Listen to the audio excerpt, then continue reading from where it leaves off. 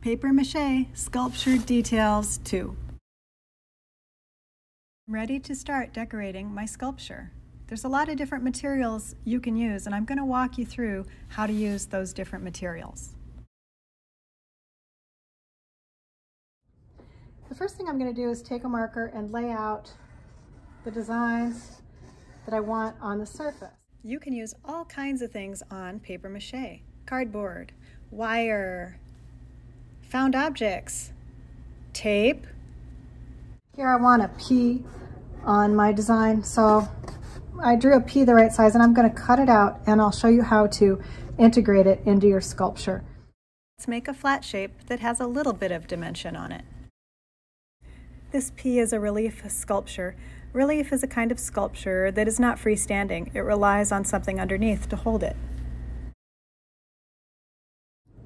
So building this on slowly with small pieces of newspaper and then tucking the newspaper around the edges so that your relief shape will continue to pop out, overlapping to create strength. And hopefully you can see that it is sticking out. You'll do a couple layers of paper just like that, and you'll get a nice hard shell. I want to make a half sphere here, and there are a couple of ways to make the form we call sphere. One way is to crumple up newspaper and use tape to hold it together, and then put a paper mache shell over it. You might have to crumple it a bit to get it to act like how you want it to act. Uh-huh. There, that looks pretty good. Okay, a sphere is a form, so now I'm creating that form, and I'm putting the tape on there so that the newspaper remembers the form I want it to take. Okay, and once again, I'm use, laying this right on top of my design so I keep the size right. I just want it to remember its form. So now I've got a half sphere. Okay, I'm gonna put it on here. All right. Now I'm going around the edges, pushing out all wrinkles. Smaller pieces of paper let you do a better job of not getting wrinkles. So if you're getting a bunch of wrinkles, you don't really want that probably unless wrinkles is part of the texture you're after. So make some really skinny strips, really thin, and those are gonna allow you to go around, around your forms without creating a bunch of wrinkles. I would coat this out at least two or three times with newspaper to give it the nice shell that I'm going to get from using that paper mache. You need to push on it a little bit because it's got some dents that you don't like. You can still continue to to manipulate this form a little bit. Anytime it looks rough, you can just rub it down a little bit, add more uh, newspaper to it, more layers, and strips would go down and lock this piece onto the surface of your letter.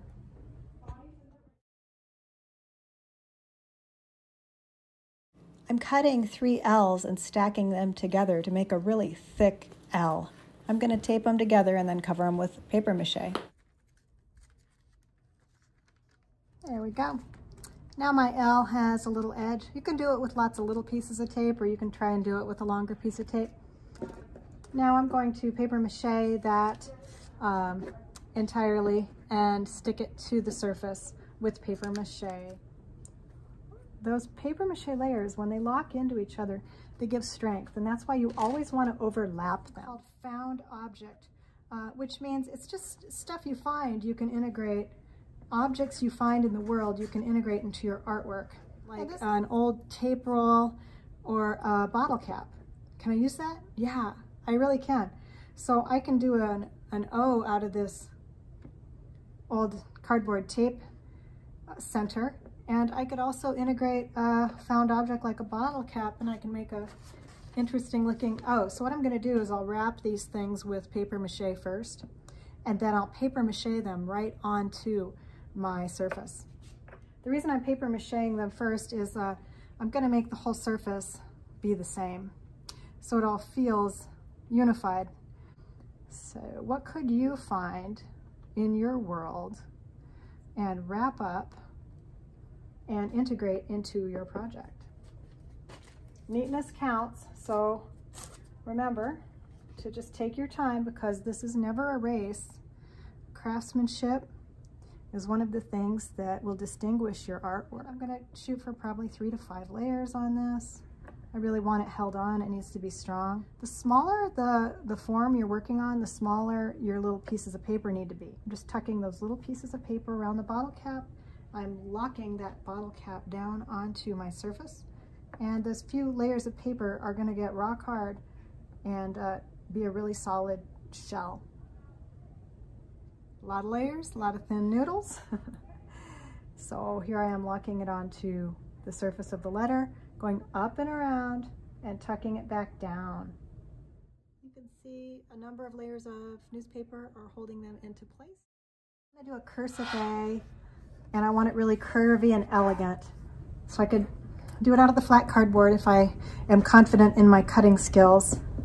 Um, I could wrap up newspaper into a big old fat form and kind of twist it around.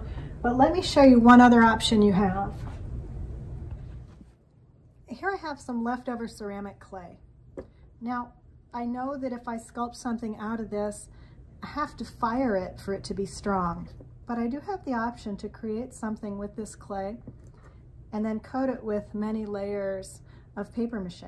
And this piece of clay will dry and the paper mache will dry over it. As long as there's enough layers of paper encasing it, creating a shell around it, it will be strong and it will be a solid core. Now, one of the things you don't want to do would be to build a core that is very massive. For instance, if I were going to build a huge oak tree on top of this A, uh, and that huge oak tree was solid clay, it would weigh so much that my poor little A would probably just tip right over all the time because it had this huge heavy chunk of clay on the very top of it.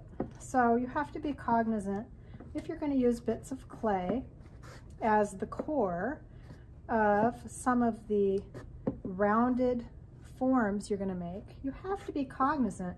Don't make it tremendously heavy. Well, so what if I want to make something big, like a big tree?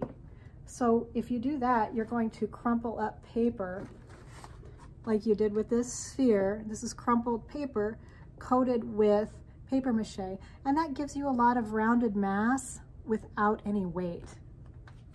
The advantage of the clay is it allows me to create thin or small rounded uh, details that would be really hard to do with crumpled up newspaper. All right, I have an A that I like. I'm gonna rip up some very small pieces. If I don't do this and I just lay the clay here, we all know what clay does. It shrinks and it falls off. Well, I don't really want it to shrink and fall off. I want it to maintain its nice relief profile. And so I'm going to encase the whole thing in paper mache. This clay will be incredibly fragile when it dries, so it really needs a couple layers of newspaper to give it a shell, right? You can see the newspaper is coating and coming down onto the surface and sticking these pieces of clay onto the paper mache letter. I'm gonna keep going. Anytime you have something curvy that you don't need to worry about how heavy it's gonna be, you can use this technique. If you want something curvy that's big and bulky, Use the crumpled up paper technique because paper doesn't weigh much.